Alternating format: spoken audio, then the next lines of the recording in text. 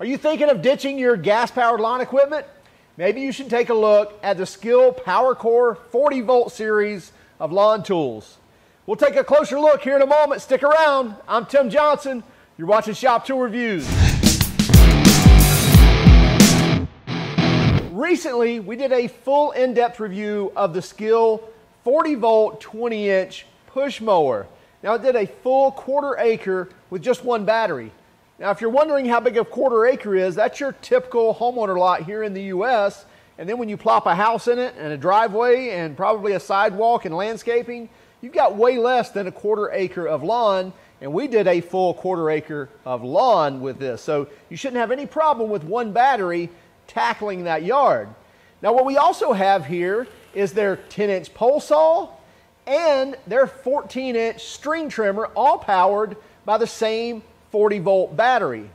Now, the stick tools or the pole saw and the string trimmer come with two and a half amp hour batteries, and the mower comes with a larger battery. Now, we're going to take a closer look at each one of these tools as well as use them, and then we'll come back and we'll talk about pricing. We'll talk about warranty and we'll see if it applies to you. The Skil 40 volt PowerCore mower is a very simple mower but very effective. Uh, very easy to use. So from, the, from it being folded up right here, we can pull these pins, turn them sideways, pull the handle up, and now we have three different positions where we can set this handle depending on our height or how, you know, how we want the adjustment as far as how we want to hold the handle so it can go very low, as well as we'll put it in the highest spot here. Turn this, clock that 90 degrees, and those pins pop in there, and now that's good to go. We can also easily extend the handle. So right here, we flip this down, flip the other side down, pull this out, and now I can easily change from being four foot five to six four, six five, no problem whatsoever. And I can easily push this being tall or short by the two adjustments on these handles, and they make it very easy to do so. Adjusting the cut height of the mower is easy as well with one touch. So from one control here, we're lifting the whole mower up just by pulling this lever out very easy to see, very easy to handle. Pull that out and now we can adjust to the seven different settings on this mower to be as high as, I don't know, three, four inches and all the way down to a very close cutting height. All with one touch, all with one hand.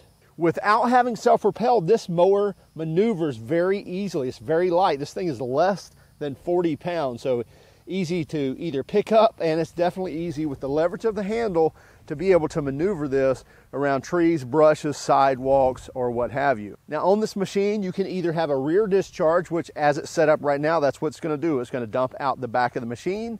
Or if you want to bag, it's as easy as pulling up this, setting the pins down in the grooves, and letting that go, and now you're ready to bag. Now when we're ready to go, we can flip up the hood, slide our power PowerCore battery down into place, let the hood go. And now all we do is pull the safety handle back, hold the button for a second, and the mower starts up and we're ready to go. Now let me show you how quick this mower can be stowed away. First thing I'm gonna do, pull the lever, pull out my battery, flip the lever down, push the handle down, turn these pins, flip it forward, flip the pins back up, pull my bag off, lift the mower up, and we're ready to stow away, whether it be in a closet, in a garage, or wherever. Now we get a plastic reinforced deck, a 20 inch cut. So we get a 20 inch blade in here, and as I mentioned, uh, rear discharge, no side discharge, but rear discharge or bagger. And by the way, Skil warranties the whole mower for five years as well. This is the Skil Power Jump Charger for the 40 volt batteries, and we just finished mowing with this 40 volt battery here. Well, the last thing we want to do is take a, you know, 120, yeah, 120 degrees, 118, uh, let's see here. Yeah, it's getting 125 degrees. So there's some hot spots in this battery for sure. So we've got a 120 degree battery. The last thing we want to do is just throw it on here and it just start charging the pack and overheating it. Well, you'll notice here when I slide this on, I don't know if you heard that, but I heard a fan kick on it. What that fan's doing is it's actually circulating air not only through the charger, but also through the battery. There are air passages in this battery that actually let it exhaust heat as well as let it pull in cooler air into the battery and into the charger, keeping these packs cool as they charge.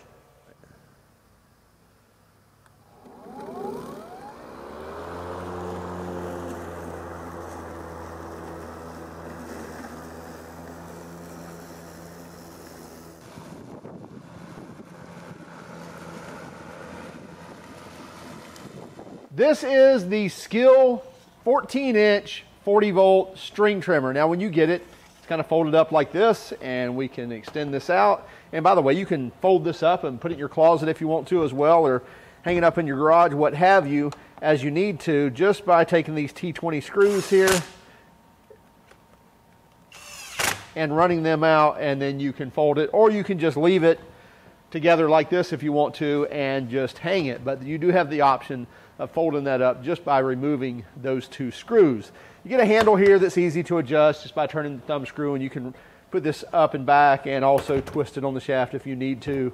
Um, we'll get into the controls in one moment when we actually use it, but just really quick, you have basically a, a safety lock that slides either way. So with either thumb, if you're left-handed or right-handed, you can slide that over and then pull the trigger. You can see the trigger is locked out right now, but if I push this, that's going to allow that trigger to move. We do have a brushless motor and it runs on a lithium ion uh, 40 volt battery. Now let's take a look at the business end. As we mentioned, we get a 14 inch head. And what's that mean? Well, that means the cutting swath is actually 14 inches. So if we were to measure from the center of this to this blade here that actually cuts off the string, that would be right at seven inches, so seven times two. That gives us our di diameter here, or that gives us our radius, and then times two would be the diameter, which would be 14 inches. So that gives us a 14 inch cutting swath. You do get a bump feed head. And what's that mean? That means that as the trimmer is spinning, as the head is spinning, so as you have your finger on the throttle, bump it on a firm surface, typically on the concrete, and it will extend the string out, and then the blade here will actually cut the string off. So bump it, let it run for a second, and you'll hear the string trim off, and you'll, you'll hear it uh, smooth out, and then you can go back to cutting. Here's the nice thing about this. To load this, obviously we could do your typical where you have to depress these two things here and pull this head off, but that's kind of a pain, tell you the truth. And then you pull this out and the string unravels and all that. But we don't have to do that. In fact, let's pull this string out. And by the way, it comes with a good amount of string here.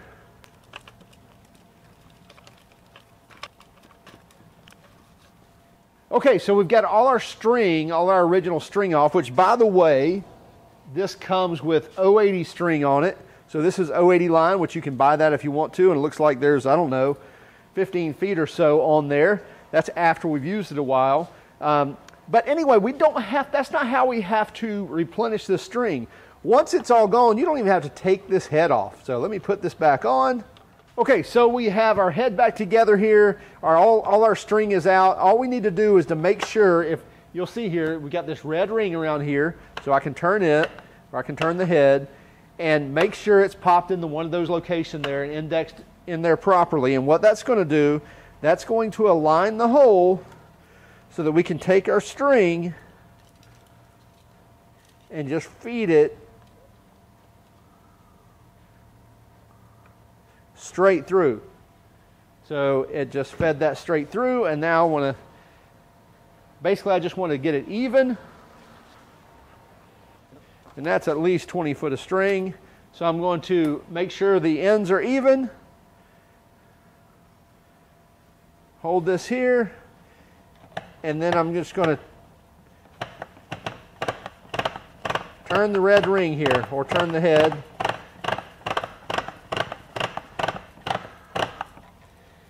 and that's rolling the string in there so that you don't have to worry about winding line.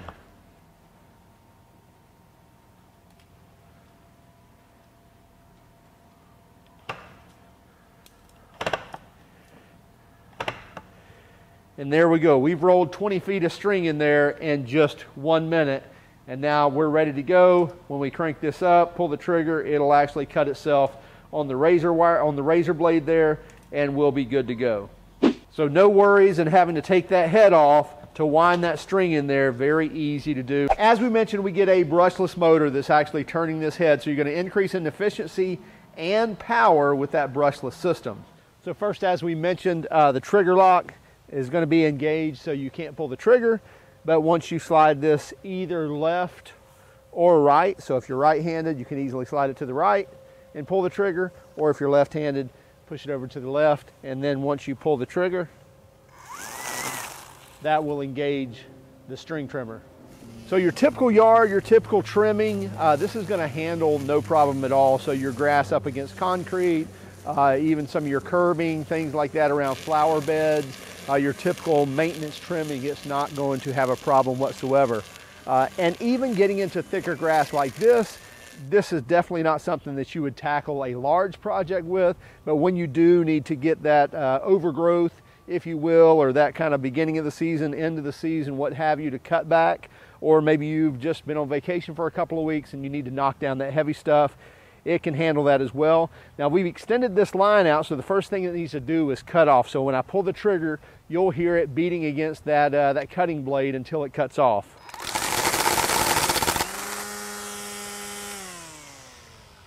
So now once we hear that nice whir sound without it beating something, then we know that line's trimmed off and we're ready to go.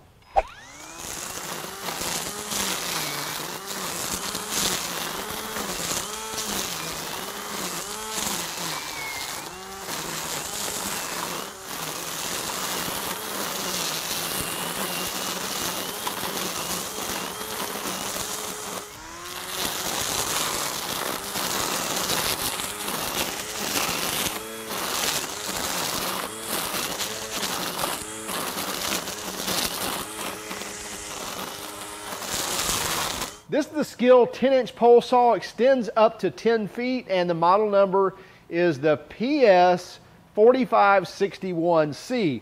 Powered by the 40 volt uh, lithium ion battery, and it is a brushless motor that turns the blade. Now, as I mentioned, we have a 10 inch bar, and the chain is an 043 gauge and a 3 8 pitch. Um, and you get 40 feet per second. I think they say 12 meters per second, but that translates to like 39.3 feet per second as far as chain speed goes. You have a nice translucent oil container or bar oil container. So it can hold your bar oil, put your, put your oil in there, and then you can easily see how much you have in there. And make sure you do that to uh, extend the life of that chain for sure. Uh, you have a pulling hook here where you can pull down limbs and, and things like that. And then you have an easy to use tensioner. Loosen that up, tension it this way, and then tighten it back down, and you're good to go. So to tighten it, basically you have a plus and a minus here, and you can loosen that up, and then go to the plus side, tighten it back down, and that's going to tighten down your bar and lock it into place. So very easy to adjust that chain tension. Now it is a two-piece saw, so first you'll have to connect the two ends together, which are very easy to do. So once you slide it in, then you put the collar over and screw it down. We'll show you once we're in the field in a moment. And then you have the extendability here uh, just by loosening this up, sliding out the pole, and then tighten this back down. And then once you loosen it, it'll actually pull back in as well as you can slide it in and lock it down to close it up. Uh, also the handle, easy adjustable handle. You can just flip this here and be able to slide this back wherever you want it and then clamp that back down, no screws or anything like that, so very easy to adjust that. On the trigger side, the only, uh, the only safety we have is a, a thumb lock or a trigger lock, so if I pull the trigger, it does not engage, but once I slide the lock and then pull the trigger, we should be able to turn that chain and uh, crank up that 40 feet per second and be able to take care of those limbs. As I mentioned, powered by the 40 volt battery, lithium ion battery. Um, as we mentioned earlier, Skil has a great battery system as well as charging system, charge things very fast and safely. Uh, have fans built into the chargers to keep the batteries cool while it is charging and to charge those very quickly. So let's go out in the field, let's use this, and then we'll wrap everything up. So you're going to have this in two sections, and you see there's three prongs here on the end of the pole uh, when that connects, and there's two flat spots on this as well. So you can easily tell which way this goes in, and it's just going to slide in to that ring, and then you can slide the collar down, screw that into place to lock that in nice and tight. And then this one here, once you loosen it, is going to allow you to extend this out, and then you can lock that into place there or you can extend it out to the length that you need for cutting. First thing, let's put some bar oil in the tank. And we can easily tell that we've already got oil in there through that translucent tank there. We can see that we're way over our minimum to keep that blade nice and lubed. Now we can slide our cover off. And make sure our chain is tensioned.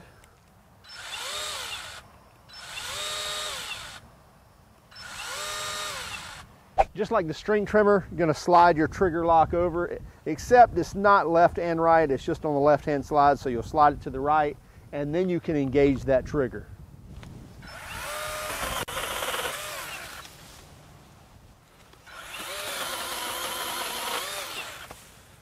Cuts very easy on those smaller limbs. Now let's try a little larger limb. This is probably about three inches in diameter. Do a little undercut first.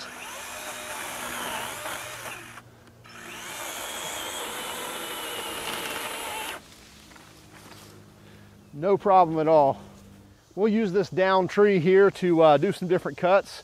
It's probably another three inch limb right here.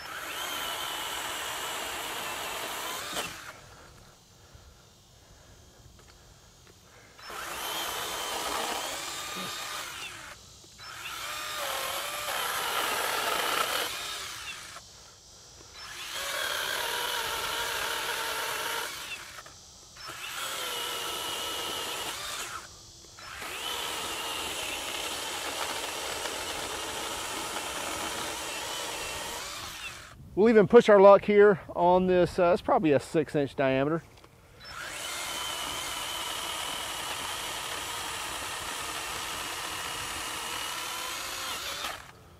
Yeah, no problem at all. Now let's take it down to brass tacks here and talk about pricing. The mower is going to run you 299. The string trimmer is going to run you 149. Now that's with the battery and charger. And the pole saw is going to run you 199. So you're looking at 200 for the pole saw, 150 for the string trimmer. And again, both of those come, each of them come with batteries as well as chargers. And the mower's at $300. So you're looking at 300 plus 200, 500, 150, $650 you can get all three of those tools.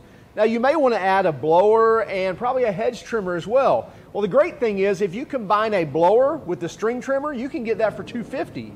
And then you can add in the hedge trimmer as well, I believe, for 179 and get another battery. So really for less than $1,000, you can be all in for all the lawn equipment that you need to tackle your yard, including the pole saw. And that's going to give you plenty of batteries to spread around to be able to tackle that yard without having to swap out batteries and charge them. Now, the great thing is, the company that actually makes these, they know good and well how to make awesome batteries and awesome chargers. And the fact is, you can take one of these batteries, slam it in the charger, stone dead or bone dead, however you want to call that, at 0%, let's say, with it flashing red, it's hot and everything else, and in 15 minutes, it will charge that to 30%. So when you've got that one strip left over, or you've got that, maybe you've let it get extra long, whatever, you can throw in the charger, grab you a sweet tea or whatever adult beverage you like, come back, grab it out of the charger, throw it in that stick tool and finish the yard, or throw it in the mower and finish the yard. So the chargers and the batteries are really good and they're going to last you a long time too. In fact, talking about lasting, Skil warranties batteries as well as the tools for five years. So I think when you're buying into the Skil platform, what you're getting is a DIY price or an entry level price with a step above in performance and quality. I really do. Now, again, you've got a company behind this that knows what they're doing in building tools because they build them for others as, as well as they build them for even better brands also. So if you want to step up to that higher brand, they make that as well. But I think the Skil fits in really nice here in the middle, but again, you're paying kind of that bottom tier price and getting that five year warranty. I don't think you're going to find that anywhere else. So be sure to check it out for yourself. Also, keep track of us on Instagram, Facebook, and Twitter. If you don't mind, hit that like and subscribe button if you like this video. And as always, if you hated our video, give us a thumbs down. But would you let us know in the comments why? Have a great day and keep smiling.